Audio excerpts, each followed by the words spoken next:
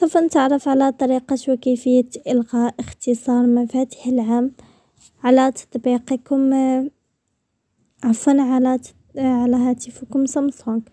قم بالضغط هنا على ضبط الإعدادات.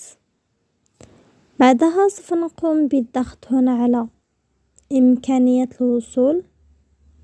بعدها سوف نقوم بالضغط هنا على التفاعل والمهارات.